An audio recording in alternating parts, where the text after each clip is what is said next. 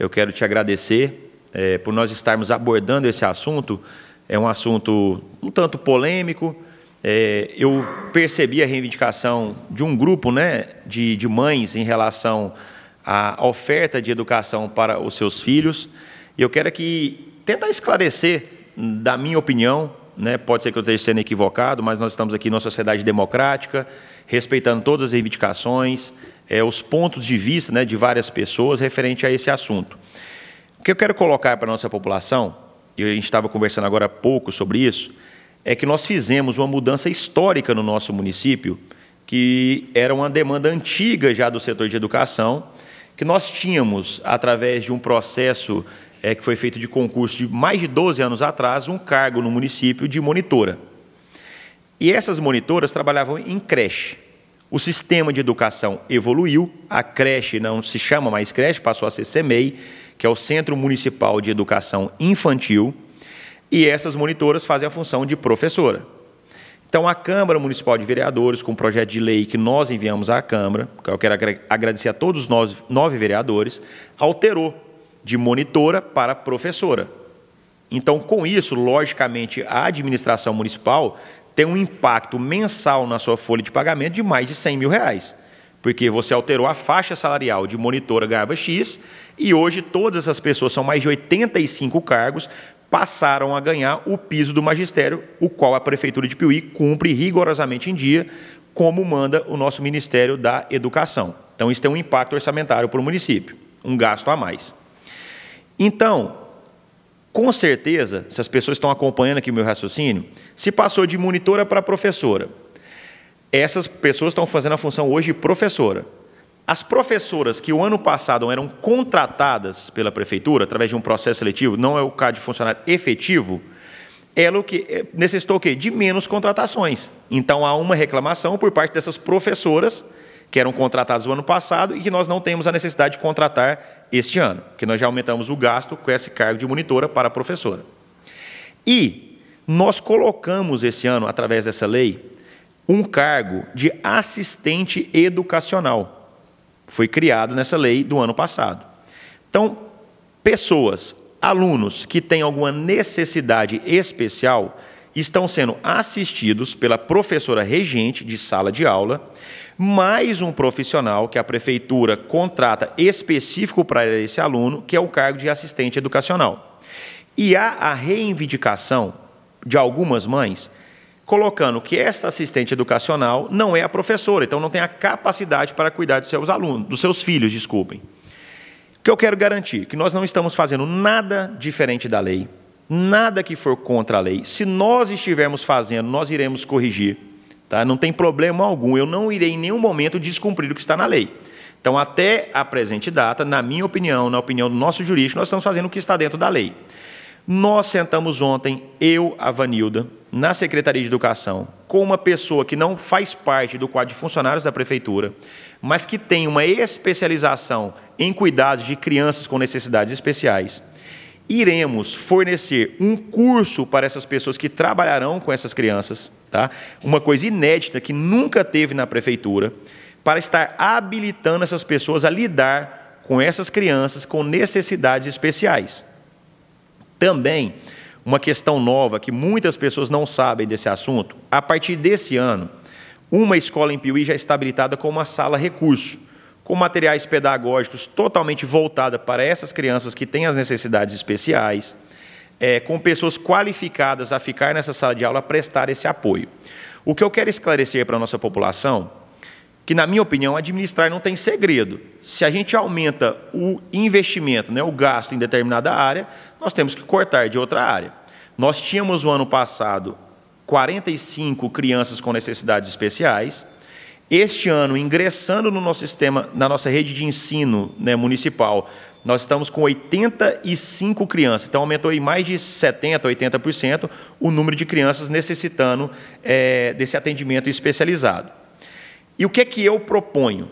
Criar uma comissão para avaliar, comissão de técnicos, não tem nada critério político, né? Técnico que entende do assunto, para avaliar essas crianças, tá? de forma avaliação presencial, vamos dizer assim, e avaliação de documentação dessas crianças, os laudos médicos, os laudos psicólogos, psicopedagogos, analisarmos é, a partir dessa documentação quem tem ou não a necessidade né, desse atendimento diferenciado.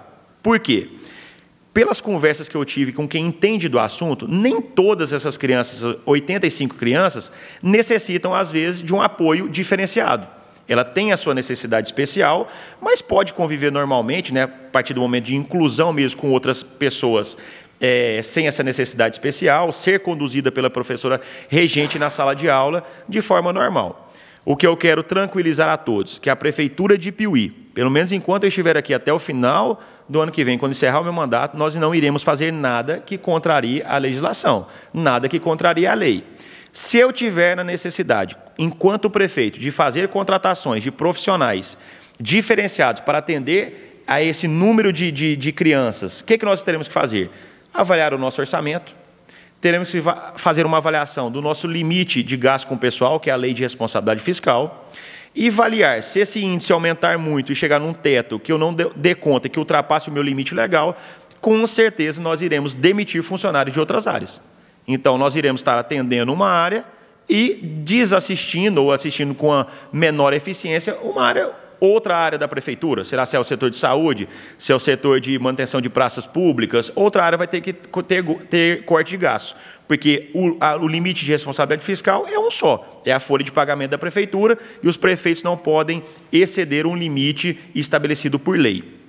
Nós temos também um assunto interessante, aqui aproveitar e falar nessa reportagem nós inauguramos a Escola Municipal Deputado Eurípides Craide, lá no bairro Nova Esperança. São 180 alunos naquela escola.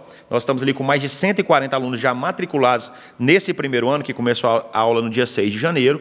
E, logicamente, nós temos uma programação dos gastos com essa escola. Então, lá tem contínuo de servente, lá tem as monitor, a assistente educacional, tem as professoras, educador físico que vai trabalhar, o vigilante, os gastos com materiais de insumos para manter essa escola e o que é interessante que a população não sabe, não há recurso novo para esta escola neste ano de 2023, porque o orçamento ele vem através do censo do ano anterior. Então, todo o gasto, vamos supor que essa escola tem um gasto de 200 mil mês, entre mão de obra, entre materiais que são utilizados, no final do ano são quanto? 2 milhões e 400. Ela entra no orçamento do ano passado. Quando que vai começar a chegar recurso para essa escola nova? A partir do ano de 2024. Então, é um gasto, um investimento que a prefeitura faz, que já estava computado, logicamente, no nosso orçamento, na minha previsão como prefeito, mas para as pessoas entenderem como é que funciona é, nós mantermos esse sistema educacional. Interessante as pessoas saberem também, Roseli, já que você está me dando a oportunidade. Em 2021, nós tínhamos uma média de 2.500 a 2.600 alunos na nossa rede municipal. Nós, esse ano, estamos com mais de 3.050 alunos. Então, são mais aí 450 alunos a mais. Isso demanda o quê? Mais professores, mais assistente educacional, mais contínuo de serventes, são mais vigilantes, são mais materiais, alimentação para todos esses alunos, é, café da manhã, tudo, tudo a mais. E isso, logicamente, que aumenta os nossos gastos. Nós temos recursos que vêm através do Fundeb, já vem descontado é, quando a gente recebe a parcela do FPM, que é o Fundo de Participação do Município, e nós estamos no município de Piuí. Isso eu fico até feliz de falar isso, que eu acho que é um investimento como nosso sistema municipal é um sistema bem avaliado, nós estamos numa crescente do número de alunos sendo matriculados, mas só que nessa crescente também no gasto com o setor educacional. Mas, para encerrar esse assunto aqui nessa entrevista, eu estou à disposição de todos né, que quiserem fazer perguntas, né, os questionamentos. Volto a falar, nós vivemos num mundo democrático. Então, as reivindicações são naturais. Quem assume o cargo como prefeito no qual estou no momento, nós temos que estar no, preparado para isso e fazer o que é melhor para a nossa população como todo. Para essas crianças com necessidades especiais, eu quero garantir que nós não estamos aqui para tirar direito de ninguém. Mas dizer o seguinte: se continuar nesse crescimento exponencial do número de alunos com necessidades especiais, sem um critério técnico, sem uma avaliação técnica da área, podem ter certeza, não é o município de Piuí, na minha opinião, todos os municípios do Brasil. Isso irá inviabilizar o setor educacional e diretamente inviabilizar a administração pública. Porque se nós tivermos que ter um professor no piso do magistério para cada aluno com necessidade especial, imaginemos que daqui a três anos nós temos 200 professores, 200 alunos com necessidade especial, tendo que a prefeitura contratar um professor específico para esse aluno. Coloque aí 200 profissionais num gasto de piso de magistério, no investimento, né, que é o salário normal, que é lei, tem que ser cumprido, mais as contribuições normais previdenciárias. Vamos colocar 3 mil reais. 200 professores são 600 mil. Se você multiplicar isso por 12, vai dar um gasto aí de mais de 7 milhões é, no, no, no ano. Você imagina o quanto isso compromete do orçamento. Se tiver que cumprir, tenho certeza que o próximo prefeito vai cumprir, só que ele vai ter que cortar gasto de outras áreas. Então, isso é um tema muito importante. Eu acho que ele tem que ser muito debatido, se aprofundar muito nesse tema e garantir mais uma vez: eu não estou aqui, doutor Paulo, para tirar direito de ninguém. Eu estou aqui para administrar, administrar bem e não somente esses alunos com necessidades especiais, mas sim toda uma cidade que depende aqui da nossa administração.